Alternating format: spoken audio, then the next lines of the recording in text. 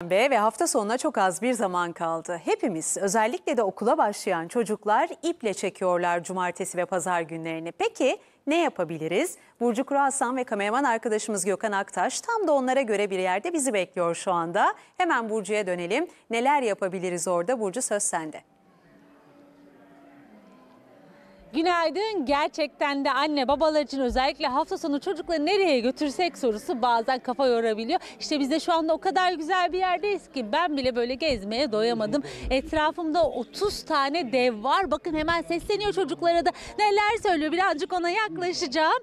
Kameraman arkadaşım Gökhan Aktaş hem drone kamerasıyla hem normal kamerasıyla bize bu yayını yapıyor. Ancak temiz bir kalp ve iyi niyetle girebilirsiniz. İyi niyetli. Zaten bütün çocuklar temiz kalplidir, iyi niyetlidir. Hemen giriyoruz bakalım neler bekliyor içeride bizi. Neslihan Hanım da bize bilgi verecek. Çok güzel hepsi. Evet teşekkürler ziyaretiniz için öncelikle. Ee, alanımız güzel kuruldu. Eylül'ün başından beri şu anda e, çeki yapıyoruz, hizmet veriyoruz sergimizde. Avrupa'dan geldi sergimiz. Ekim sonuna kadar da devam edecek.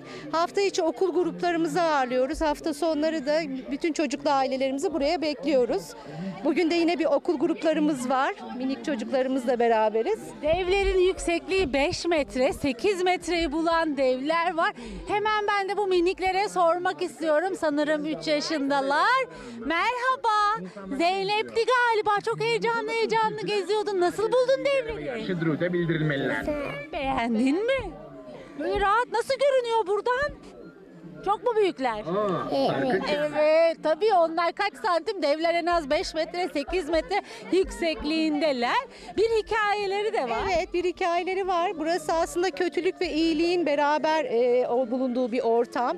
Kötülerin e, engellediği ama iyiliğin kazandığı bir köy. Şu anda köyde her türlü meslek grubuna ait devlerimiz var. E, kötülerimizle ilgili onları hapsetmiş durumdayız. Onların da bir alanı var. Orayı da size ayrıca göstereceğim. Hemen gireceğim. Oraya gitmeden önce burada çok güzel oyunlar da kurulmuş. Merhaba. Ne yapıyor acaba bu dev size? Pasta mı yapıyor? En çok ben makaronları gördüm. Beğendiniz mi? Evet. En çok hangisini sevdin devlerden? Çocukların gözdesi pastacı olacak elbette. Diğer devleri de gezelim. Hemen burada kameraman arkadaşım Gökhan Aktaş gösteriyor size. Bir e, müzisyen devimiz de var. Bir sürü müzik aleti var. Bando çalıyor, zil çalıyor. Evet. Her türlü var. Yani buradaki müzik aletini çalan devimiz, aynı zamanda e, bir ejderhamız, bilek güreşi yapan devimiz. İleride de e, bahçıvanımız, e, alanı koruyan koruyucularımız, hepsi Özellikle alanda. burayı da gösterelim. Gökhan Aktaş'a rica edeyim. Hemen sağımızdaki çocuklar çok severler. Özellikle 5 yaş, 6 yaşları belki. Evet evet çok güzel. En çok zaten burada çocuklarımız takılıyor. Bir ana karakterimiz var. Gurut. Onun orada çocuklarımız takılıyor. Onun çok büyük bir köpeği var. Ee, alanımız çok seviliyor. Çok da sevildi. Ziyaretçilerimiz çok yoğun. Herkesi bekliyoruz. Hem buraya. hareketliler hemen böyle de gidelim Gökhan'la. Kendilerini de anlatıyorlar. Bu arada alanı gezerken yaklaştığınızda size kendileri konuşarak hikayelerini anlatıyorlar. Bunlar köyümüzün koruyucuları. İçeriye girersek. İçeriye girdiğimizde devam ediyoruz. Şu anda. Bizi hemen e, bayan devimiz karşılıyor. Her biri hareketli aynı zamanda. Çocukların çok yoğunlaştığı alanlar var. Bu bizim e, ana koruyucu devimiz Gurut. Köyün koruyucusu ve köpeğiyle beraber e, o ana karakterimiz. Kendisi Selçuk Yöntem seslendirdi. E, Hemen ben çocuklara da gidiyorum. Sırayla biniyorlar. Ee, kralımız ve onun köpeği de hareketli çocuklar. Neleri en çok beğendiniz burada? Çok güzel, çok güzel. Her şeyi. En çok hangi devi beğendiniz? Bunu. Bunu. Aslan. En güzeli buydu. Evet, en güzeli buydu. Şimdi birazdan göstereceğiz. Böyle karnını kaşıyan var. Onu seven var mı? aranızda? Hocam, tamam. Kaşıyan çok güzel. Bir de orada arkada görüyorum böyle kadınlar süsleniyor. Kızlar biraz onu sevdi mi? Onlar çok güzel. Böyle e, şey böyle maske takmış yüzüne. Her şey çok güzel. Buradaki her şey çok güzel. Eğlenmeye devam edin. Söyle bakalım. Bu çok güzeldi. Bildin mi? Biz savaşa çıktık bunda. Aa, bravo. Bu köyün özelliği neymiş? Kötü devleri yendik. Abla kaçta kanala çıkıyoruz? Burada Yayındasınız şu anda. Hemen siz yayında.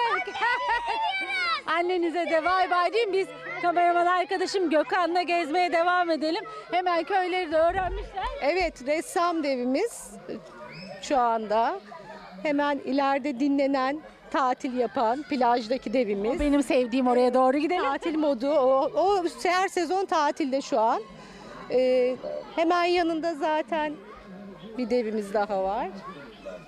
Dev kaç metre yükseklikli? 5 ve 8 metre yüksekliklerinde 30 tane panoramik e, bunlar e, animasyon şeklinde. Her biri hareketli ve konuşuyor. Bahçıvanımız var.